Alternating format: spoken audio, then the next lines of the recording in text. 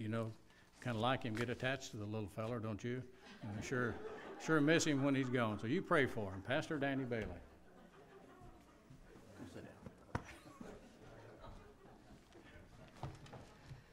Gotta love them, don't you? Told brother Daryl, I think this morning, I was disappointed he wasn't here last Sunday because I was, and I was expecting for him to give me a visitor's card and everything else, but he wasn't here, so I didn't get that. But uh, in the last three weeks, I've preached in four different states, so that's that's a little more than I usually do. But uh, good to be here and good to see all of you. We're going to. Um, finish out our series today. This will be the last message in our series that we've been working on. And if you haven't been counting, there's eight of them. Eight. Of course, we skipped a couple in the middle, you know, because it wasn't here, but there was eight of them, and we appreciate Brother Anthony again for filling in and taking uh, responsibility to, to preach, and uh, proud of him. Just keep praying for him, keep encouraging him. And uh, uh we're going to read today in a little while, not right now, but in a little while, in 1 Corinthians chapter 9. If you uh, are one that likes to follow along in the Bible, you can turn to 1 Corinthians chapter 9 and just hang on. We'll get there in a little while, okay? And uh, we'll um, make sure that we uh, don't forget to read uh, what our thoughts about. But we're going to talk about it a little bit, okay, before we uh, get into it. Um, you know, we've been talking uh, these, these eight Sundays, and well, seven so far, and we'll talk about today uh, about the Christian life and about getting in the Christian life and staying there no matter what. Just in it for the long haul. We're not going to back out. You know, it takes that determination. And um, I know a lot of people don't think you can lose it, but you certainly can walk away from it if you want to. You really can. I've encouraged people over the years, you know, if they've never tried Christ, uh, come and try. Him. Try Him. Uh, you know, uh, one writer said, Oh, taste and see that the Lord is good. Try Him. And if you don't like him, you can always go back to the life you were living. I mean, it's I, but I've never met anybody that didn't like him. Okay, uh, so if you are a Christian today, we're trusting that you're in it for the long haul. I hope that you are. Okay, and if not, you should be. Um, what we're going to talk about today uh, is is a um, a little three word phrase that. Um, uh, has been on my mind. Uh, you know, I like to kind of title scripture or messages, and and uh, the guys in the sound booth want me to title them so they can put a title when they put it on the internet and all that. Uh, but what we're going to talk about today is endeavor to persevere. Endeavor to persevere. Uh, let me let me ask you this before we get into that. Uh, how how badly do you want eternal life? It ought to be really important to us, shouldn't it? I mean, that's, uh, I like life. Do you like life? I enjoy life. I, I, know bad things happen, but overall, I like life. And it might be primarily because I don't know anything about death, but I like life. And uh, my understanding is that eternal life is far greater than uh, this life. That intrigues me. It intrigues me greatly. You know, I've, I've, I've heard people say over the years they don't believe in scared religion. You ever heard that? Um, I can say that was definitely a factor in me coming to Christ because I was scared of dying lost and going to hell, and I did not want to go to hell. So you can call that scared religion if you want to. I wanted to be away from it. And the opposite of that, of course, is eternal life. How badly do you want eternal life? Think about that now, okay? And you might say, Oh, I really, really want it. Okay, so let's go to the next question. To what end will you go to attain eternal life? How far will you go to reach that goal? If you really want it, if you really want something, do we not endeavor to reach that goal? We do, don't we? no greater goal than eternal life. To what end will you go to attain eternal life? Well, that's where we want to encourage you to endeavor to persevere. Don't ask me where I got that phrase. I'll have to explain it to you, but I'm not going to right now. It's a quote from somebody else. Endeavor to persevere. Two big words. Let's define them. Let's look at the definition of endeavor to persevere. To endeavor means a conscientious or concerted effort toward an end. Uh, uh, some big words again, okay? But it's a conscientious. That means you, it's a choice, right? Conscientious means I, have made a, a choice. I've reasoned this out. I've made a choice. Or a concerted effort toward an end. You have put forth some effort. Concerted means you put forth a little extra effort. That's, that's endeavor. Okay? Persevere. To persist in or remain constant to a purpose, idea, or task in the face of obstacles or discouragement. That's a long definition, isn't it? Let's read it again.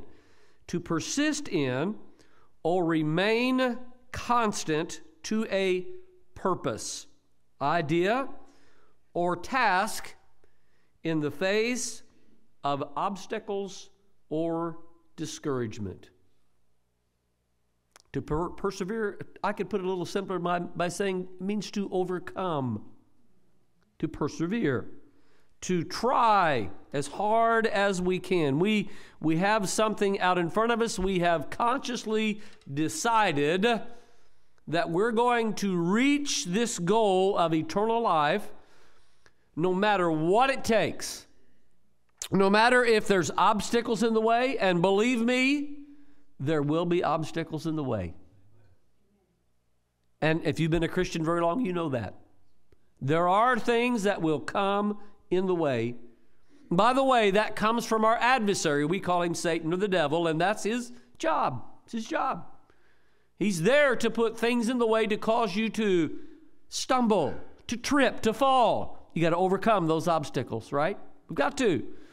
And it also says that there could be discouragement. Anybody here ever went through discouragement? You got to overcome that. To what end will we go to attain this eternal life? You got to be a little tough, okay, to be a Christian. You got to be a little stubborn to be a Christian. Did you know that? Your stubbornness will keep you from giving in to temptation. You, you gotta, you've got to see that there is a goal out there that you've got to reach. That's what we're, that's what we're going for. So we're talking about endeavoring uh, to persevere today. I, have we got you thinking yet? Thinking, boy, that, that sounds like a hard task. Well, it may be. Is it worth it? Is it worth it? Okay? Let's read our text here in 1 Corinthians chapter 9. Very, very familiar. Part of it is you, you uh, have had Sunday schools on this over and over, and and um, you, you, know i'm sure you've heard it preached on but let's look in 1 corinthians chapter 9 start at verse 16 we'll read down through the rest of the chapter through verse 27 for though i preach the gospel i have nothing to glory of for necessity is laid upon me yea woe is me if i preach not the gospel for if i do this thing willingly i receive a reward but if against my will a dispensation of the gospel is committed unto me, what is my reward then? Verily, that when I preach the gospel, I may make the gospel of Christ without charge, that I abuse not my power in the gospel. For though I be free from all men, yet have I made myself servant unto all, that I might gain the more. And unto the Jews I became as a Jew that I might gain the Jews. To them that are under the law, as under the law, that I might gain them that are under the law. To them that are without law, as without law. Not, or being not without law to God, but under the law to Christ, that I might gain them that are without law. To the weak became I as weak, that I might gain the weak. I am made all things to all men that I might by all means save some. Now let's just pause there before we finish reading that. How, how, how far is Paul willing to go to attain eternal life? Sound like he's willing to do a lot, doesn't it? I mean, some of these things we read right here, before he was converted, and I, am really convinced even after his conversion for a long time, there's no way he would have done any of that stuff. He wouldn't have, he wouldn't have dirtied his hands with it. Okay? But he's saying, I, I, have been willing to do that. Why? So that I can say, get some people saved. And that's what he's supposed to do, okay? If you didn't notice that, uh, he, he, he's called to preach the gospel. And that's what his job is. But let's go on, okay? And this I do for the gospel's sake, that I might be partaker thereof with you. Know ye not that they which run in a race run all, but one receiveth the prize? So run that ye may obtain. And every man that striveth for the mastery is temperate in all things. Now they do it to obtain a corruptible crown, but we an incorruptible. I therefore so run, not as uncertainly, so fight I, not as one that beateth the air, but I keep under my body and bring it into subjection, lest that by any means, when I have preached to others, I myself should be a castaway. Now, notice from verse 24 to 27, he's talking about a runner in a race. I want to remind you that, that Paul is not talking about a sprinter. A sprinter, that race is, starts and finishes quickly. Okay? I mean, the 100 yard dash is just a few seconds long now. Okay? I mean, they. They don't used to. I remember, you know, when I was in school and, and, and we ran what they called the 440, you know, that's one lap around the track. You kind of jogged around. They sprint that nowadays, okay? Life is not a sprint, it's a marathon. It's a marathon.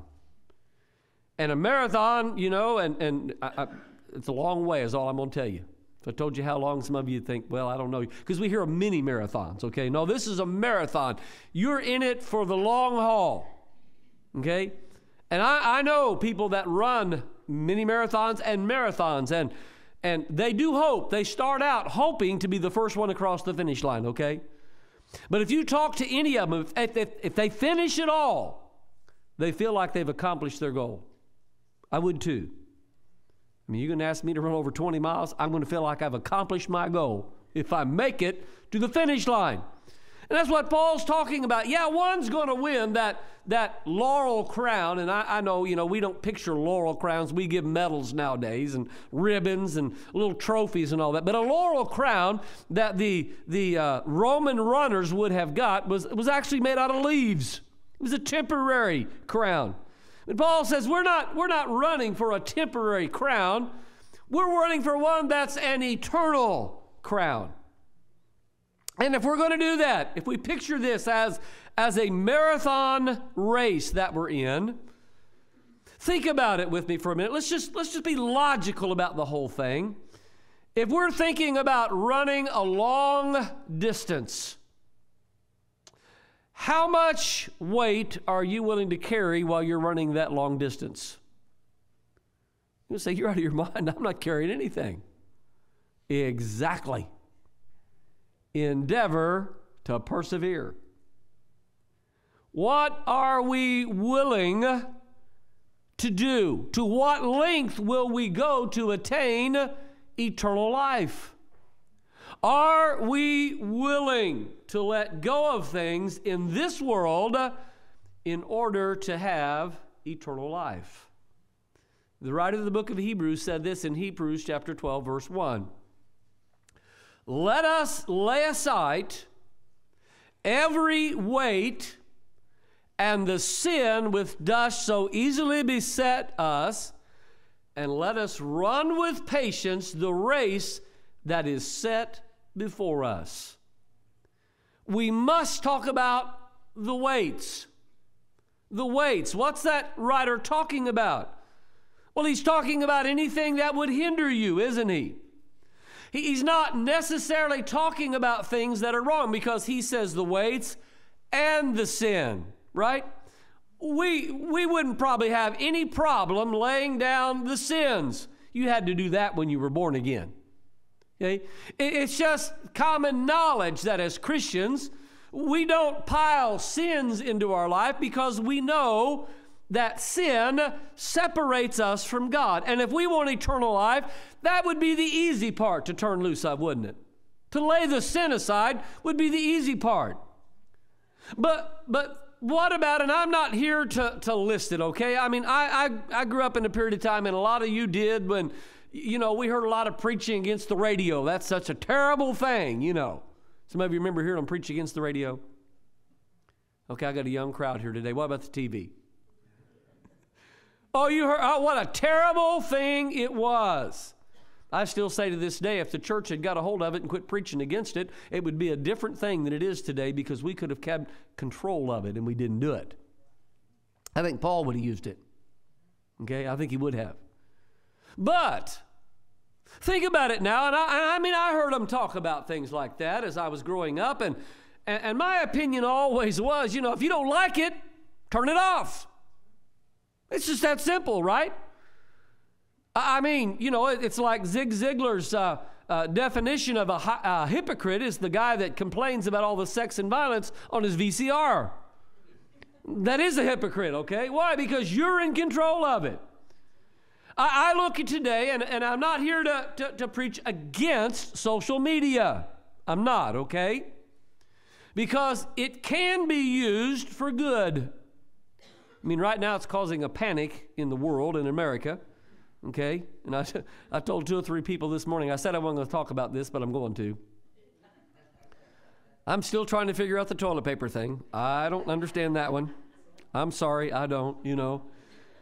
Uh, the hand sanitizer thing, okay, maybe I can figure that one out a little bit, but the very one thing that the Centers for Disease Control, which is our federal branch that's telling us how to do things, and all the doctors are making a recommendation that you do one thing, and I guarantee you, go to Walmart today, there will be plenty of soap on the counter. And that's that's the one thing they said you need to do is to wash your hands regularly with soap and water for at least 20 seconds. Nobody's buying soap. That concerns me more than the toilet paper. I know I'm a guy, but I wash my hands pretty regular and I use soap. Okay? Social media has created a frenzy. That was a little sideline right there we just went to, right? Okay, we probably shouldn't have went there, but we did. Now you'll rush out and buy all the soap you can. And your car will be full of it. I'm sure you will, okay. Get some of Grandma's lye soap. That'll kill you or, kill, or clean you one. I don't know. Social media can be used for what's right, but but but listen to me. To me, it's not something I would label as wrong, but it certainly can be a weight, can it not? That can occupy your mind a lot. I don't know if you're on Facebook or if you're on Twitter or if you're on Instagram, but if that is consuming your life, that is a weight. What you've got to do if you want eternal life is not let that control your life. There are people that have withdrawal. Really. this goes beyond my imagination, but there are people that have withdrawal from things like that if their internet connection goes down.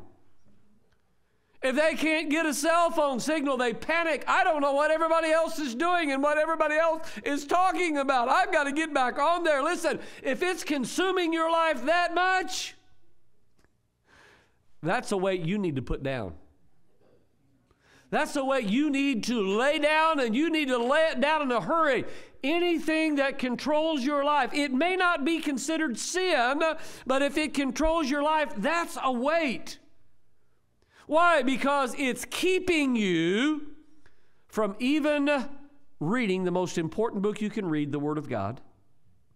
It's occupying your mind so much that obviously you're not spending the time in prayer that you ought to spend. It is controlling you so much that you want to know what everybody else thinks, that you're really failing in fulfilling the obligation you have to be a witness to people in the world. Do you understand what I'm talking about here? It's a weight. I will not label it as sin, okay? But I will tell you this it will drag you down. How far will you go? What are you willing to do? To what length will you go to attain eternal life? Are you willing to cast some of those things aside? Listen, that, that's a very simple thing to me. It really is. I mean, I mean, face it. I, you know, I my daughters really rode me when I sent them a text, and it was after 2000, you know, and I finally decided to get a smartphone, and I sent them a text, and boy, they rode me, oh, dad's in the 21st century. I'm like, get off my back. You know, who had the first computer in the neighborhood? They said, we did. Who had the first cell phone that you guys remember? You did. Okay? I've been able to text for a long time. I just didn't want to do it. Okay? Now that I've started, I can't seem to stop. You know, sometimes I want to just turn it off, and, and I do. Listen, if it's, if it's time to study, if it's time to get into prayer, I just turn it off. Don't get upset with me if you send me a text and I don't answer you right now. I'm doing something else. Okay? Lay it aside. The technology's great, it's good, but let me tell you something. Uh, when cell phones first came out, they, they, consumed people, didn't it? Everybody had to have one, had to start calling when I'm driving down the road, you know, and uh, had to go in exotic places and see if my cell phone would work. You know, we were looking. Do you understand what I'm saying? These things are weights that can control us. We, we become attached to things uh, in this world. Those are weights that we need to go, get rid of. Uh, what length will you go to to have eternal life? Are we willing to let these obstacles that can be used for good get in our way and prohibit us from living as we ought to? Are we? I think a lot of us are. We're afraid to. I mean, I know people that just are consumed by watching the news constantly. Constantly. You guys all know the name Mike Huckabee. You know, he ran for president here a couple years ago and, and was governor and, and, and, and is a, a, a supposedly a Christian man. I think probably is. I haven't seen anything out of him that would make me lead otherwise. But he said he was talking to a lady one day, and she was talking about how informed she was. She said, "I watch Fox News 24 7." He said, "Then you're nuts." Because nobody needs to watch any news outlet 24 7. Addictions like that, though they're not wrong within themselves, do they control our lives? I, I can guarantee you that, that each of us, if we, ha- we have things that we could allow to control our lives, okay? But when we get to the point, and remember our definition here about, about persevere, uh, to, to, to, you know, to, to really go after it and, and to persist no matter what the obstacle or discouragement comes along, th- those, when there's an obstacle or there's discouragement comes your way, they're kind of like a storm in life, aren't they? I mean, everything be going good, and all of a sudden, just things just seem like, for, for maybe some unknown reason, just go bad. And discouragement sets in. I mean, people wake up in the mornings a lot of times and go, I'm so discouraged today. And I think, how can you be discouraged? Nothing's happened yet. You just got up. But, but, but the enemy throws it our way, doesn't he? He throws those weights. He throws those things that get in our way to drag us down in discouragement. Let's call it a storm for just a little while because I've got a story we got to go to, okay? It's a storm in life. They come. And storms are not just necessarily sickness. Storms are not necessarily the loss of a loved one or, or maybe of a, a, a, possession. Storms are not necessarily that. Sometimes they are mental, they are psychological, sometimes they're spiritual storms, right? What do we do to get through that storm? The worst thing you can do is sit down and have a pity party and think about it all the time. It's the worst thing you can do. Because when you sit down and start feeling sorry for yourself, you will just drag yourself deeper into discouragement and maybe into depression. That's a storm that comes our way. And, and, trust me, they're going to come. They're meant to come. What do we do in the midst of a storm? thought about this this week as I was thinking about preaching this. We all know the story of Paul when he was on board a ship and headed toward Rome, don't we? How that while one day where they were out there on the Mediterranean Sea, a great storm blew up. And it was dark. They hadn't seen, they, had, they didn't see the sun for 14 days. Do you understand that? That's how bad it was. Veteran sailors were afraid, cringing because this storm was so strong. And Paul says, after the storm, or Luke writes this over in the book of Acts, after, after the storm arises and it is so strong and the, the waves are beating into the ship, and they've got a goal in mind now, okay? They've got prisoners, they've got people that they need to get to Rome. That's their goal. Our goal is not Rome, our goal is eternal life. But here they had a natural goal to get from where they were to get to Rome. Now, they have been entrusted with the lives of these prisoners, and they must, as soldiers, fulfill their obligation to get them there. So when this storm comes up and, and, and the wind's blowing and the, the waves are dashing hard, Luke writes the next day, we lightened the ship. You know what that means? They started throwing cargo overboard.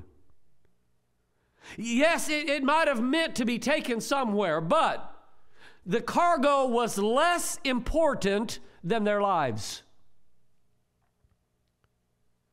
There are things in everybody's life that are far less important than your spiritual well being. When the storms come, throw it over. They lightened the ship. Anything that was not necessary, they lightened the ship. I told a friend of mine this week that works at uh, a school. They had canceled the school and said non essential personnel will work from home.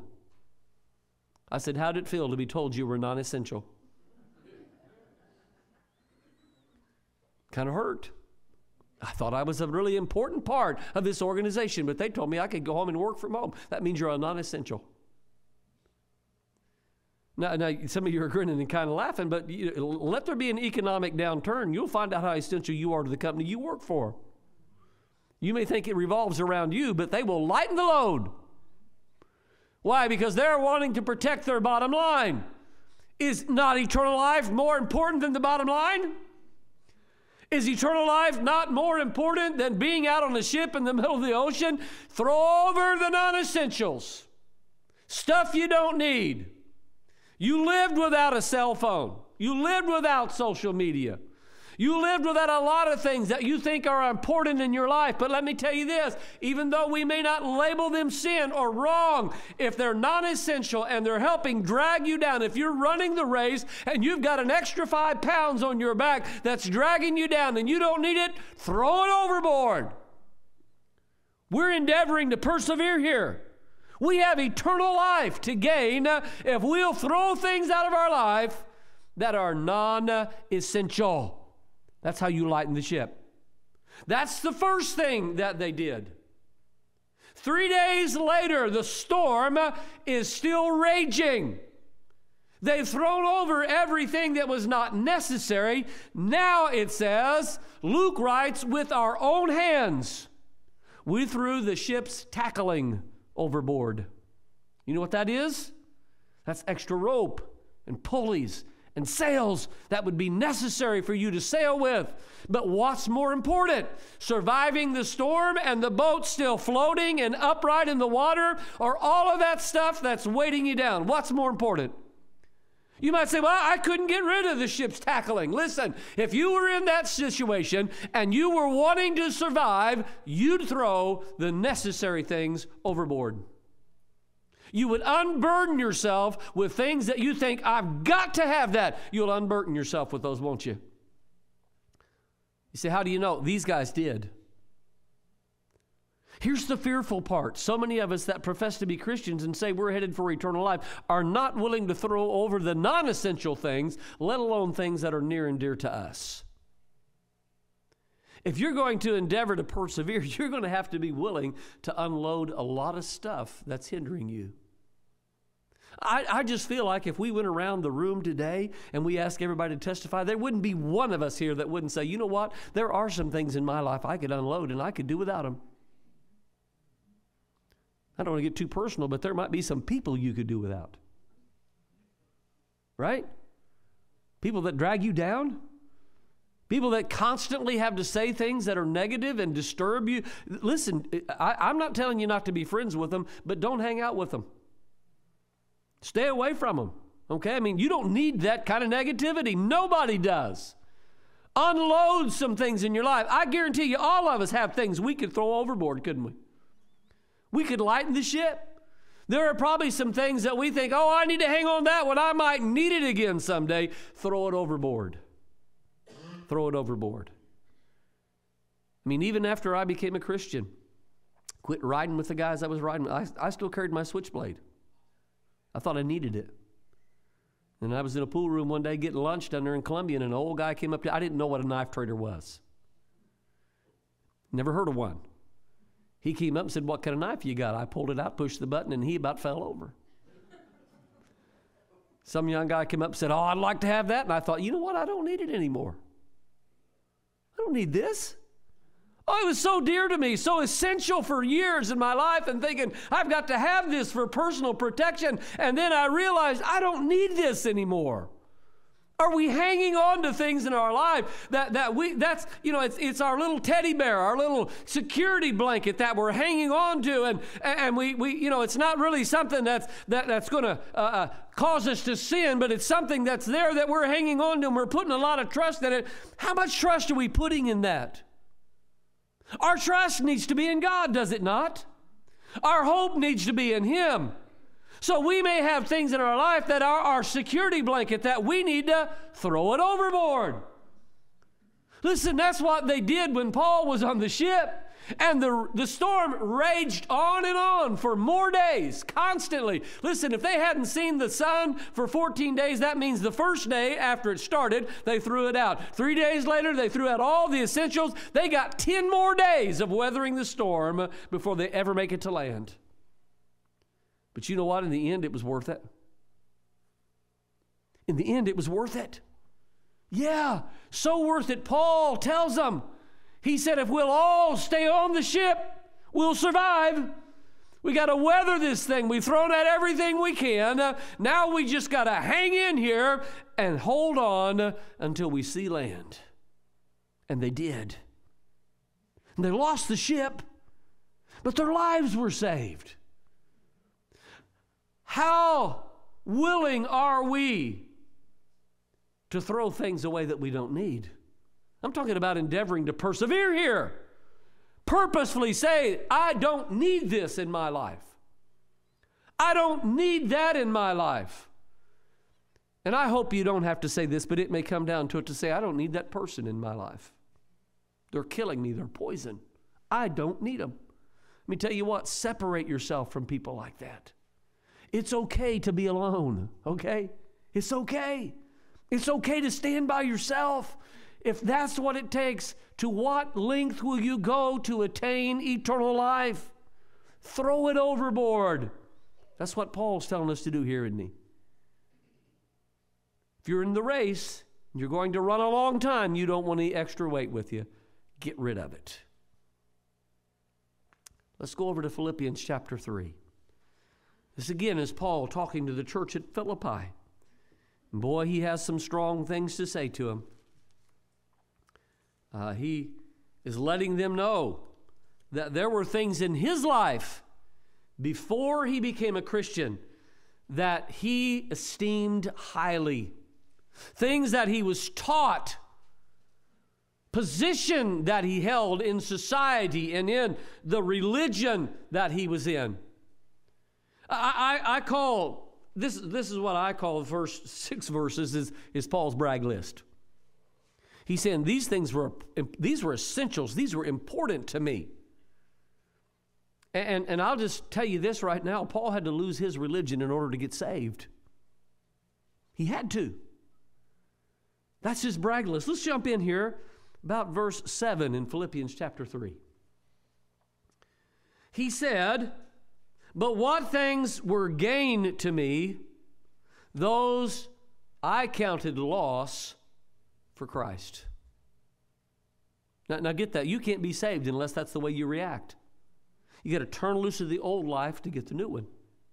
All the things that were important to you, think about it. If you're a Christian today, you were willing at one point in your life, you were willing to turn your back on everything and take a hold of Christ.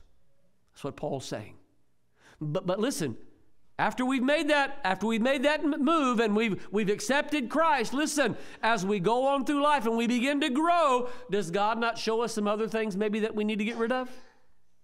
Does He not open up our understanding to, you know, this, this may not hurt you, but it's not helping you? Need to throw it over. That's what Paul's going to go ahead and talk about. Yea, doubtless, he said in verse 8, and I count all things but loss for the excellency of the knowledge of Christ Jesus my Lord, for whom I have suffered the loss of all things, and do count them but dung, that I may win Christ. And be found in him not having mine own righteousness, which is of the law, but that which is through the faith of Christ, the righteousness which is of God by faith, that I may know him and the power of his resurrection and the fellowship of his suffering, being made conformable unto his death, if by any means I might attain unto the resurrection of the dead. What's Paul talking about? Eternal life. I'm willing to turn loose of everything I have, he said. I've rejected it all. It, it, it's like, and, and, you know, we don't use the word dung anymore. Can I, can I be nice about it and use the word manure? It's what it is. It's what it is. Throw it away. It's not going to benefit you in your life. Throw it away. Paul said, I've counted it all manure, threw it all away. Why? That I may win Christ. And why do I want Christ? So that I can be found and found in Christ, that I might attain unto the resurrection of the dead, so I can have eternal life. Listen, I got news for you here today. And I know, I know that there are people that disagree with me, and that's fine, okay? I hope they're living like they need to. But those who say you can't lose it once you've got it, you don't have to worry about it, I'm here to tell you today the Apostle Paul that they said wrote about that says right here, I don't have it yet, but I'm working on it. That's what he says, doesn't he? He said, I, listen, let's go a little further, okay? Verse 12. Not as I've been born.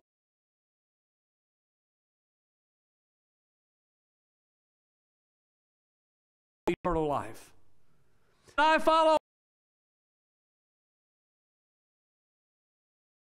in Christ Jesus. He says it again to make it clear. Brethren, I count not myself to have apprehended, but this one thing I do.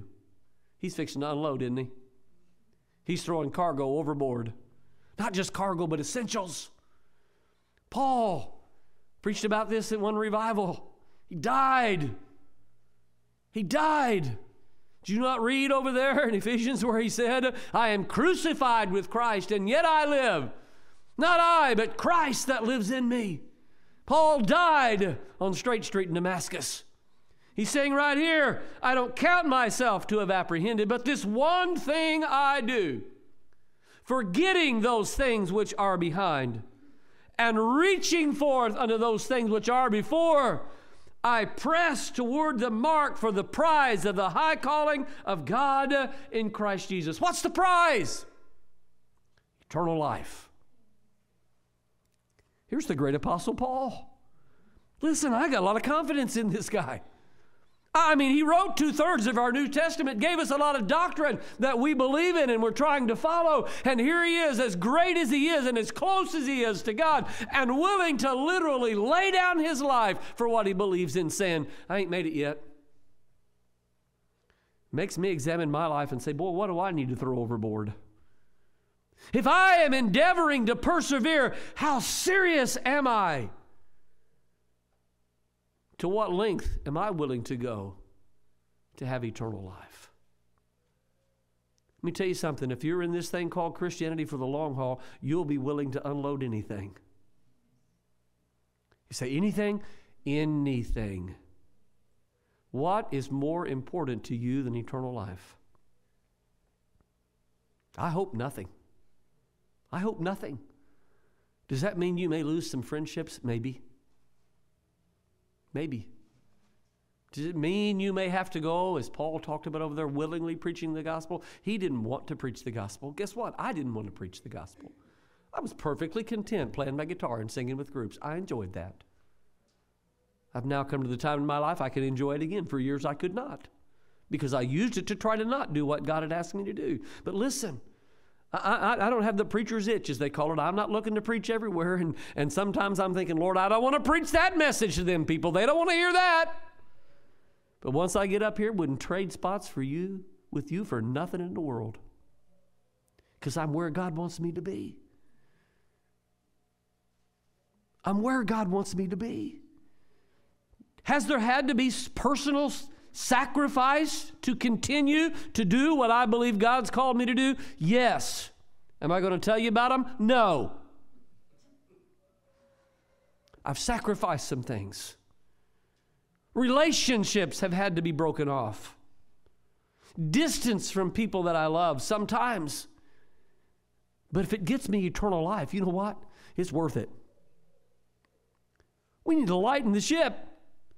We need to lay aside the weight and the sin that does so easily beset us and run with patience the race that is set before us. Paul, the writer said, looking unto Jesus, the author and the finisher of our faith, who for the joy that was set before him endured the cross, despising the shame, and is set down at the right hand of the throne of God. Listen, Jesus didn't look forward to going to the cross. Do you know that?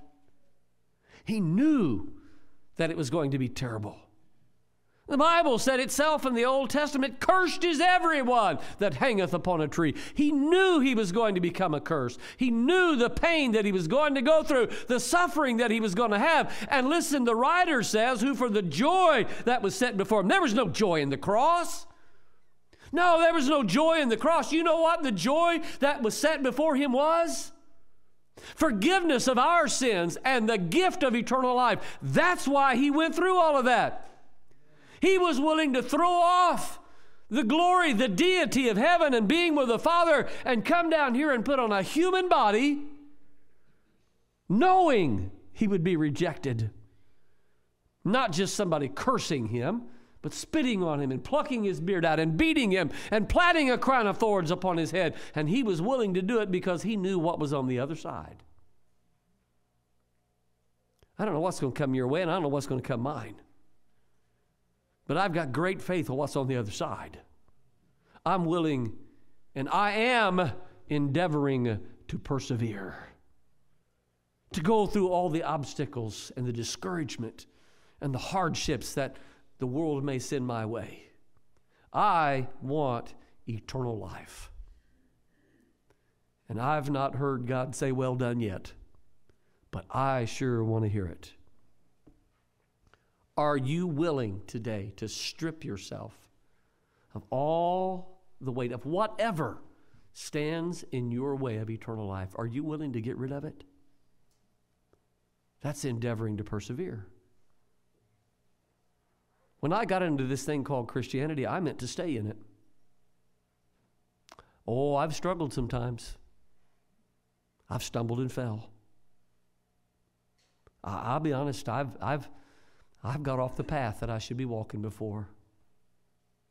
If you've never read Pilgrim's Progress, you wouldn't understand this. I've, I went to Vanity Fair.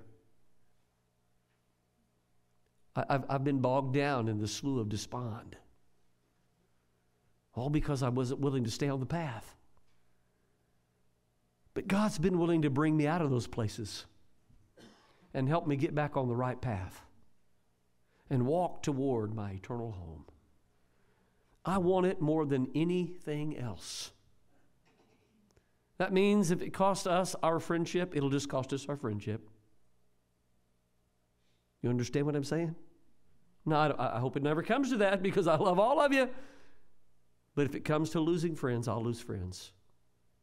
If it comes to separating from family members, I'll do that again in a moment. Why?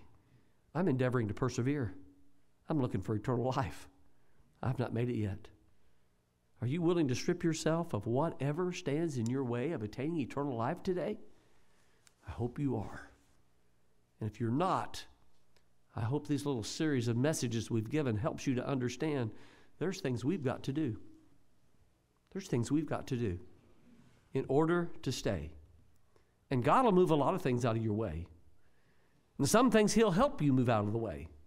But I'm going to warn you, oftentimes, He's left the responsibility to you to do what you need to do to get rid of the things that stand in your way.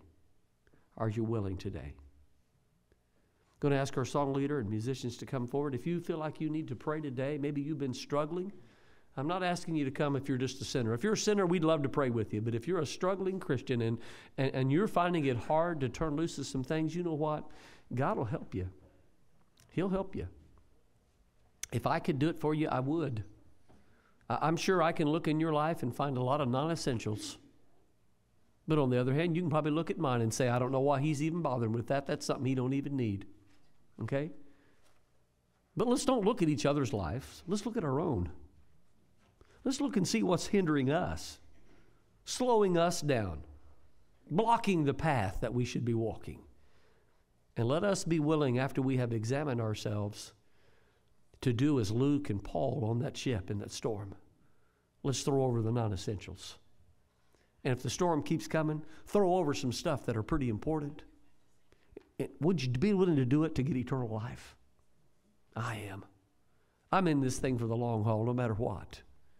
I hope to be able to stand before God one day, and I'm going to, and so are you. Oh, there's preachers today say, oh, Christians aren't going to be judged. Yes, you are.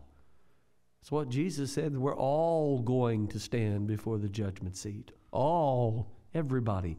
I want to stand before Him and hear Him say, Well done. That's my goal. Is it yours? If you're struggling and you need to pray today, would you come as we stand and sing? What song, Brother Number Dan? 468.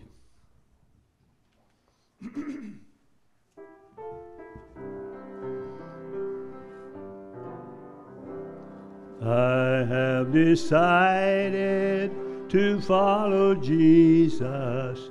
I have decided to follow Jesus. I have decided to follow Jesus. No turning back, no turning back.